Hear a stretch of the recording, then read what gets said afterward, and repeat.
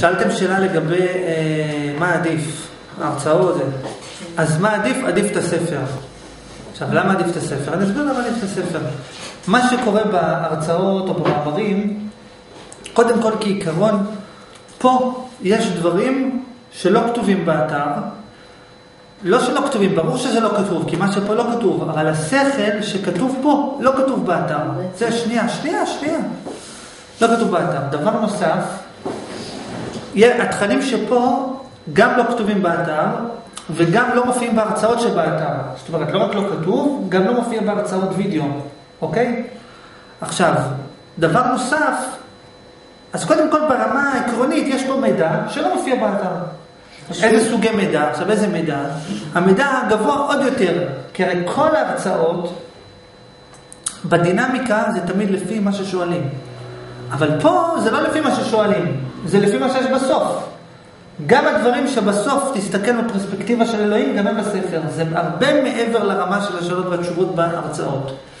עכשיו, דבר נוסף, בהרצאות או במפגשים, המידע הוא תמיד מעורבב כזה.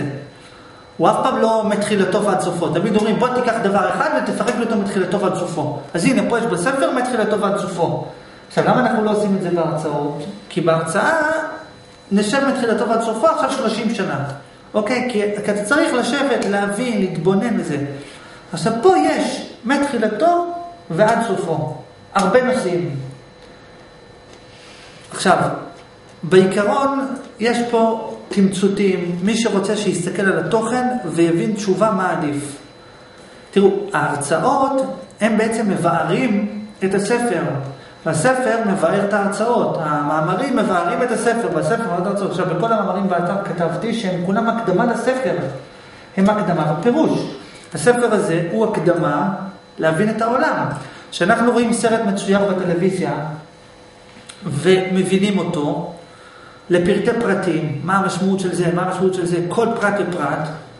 איך אני מבין את זה? כי יש לי את מה שיש פה. יש פה קונספט מסוים, צורת חשיבה מסוימת, קונספט, צורת הסתכלות. שאם יש לך, יש לך את הצורת הסתכלות שיש פה, את הופכת להיות כמוני, מאה אחוז התחייבות. כי במה אני שונה ממך? רק בצורת ההסתכלות שלי, זה הכל.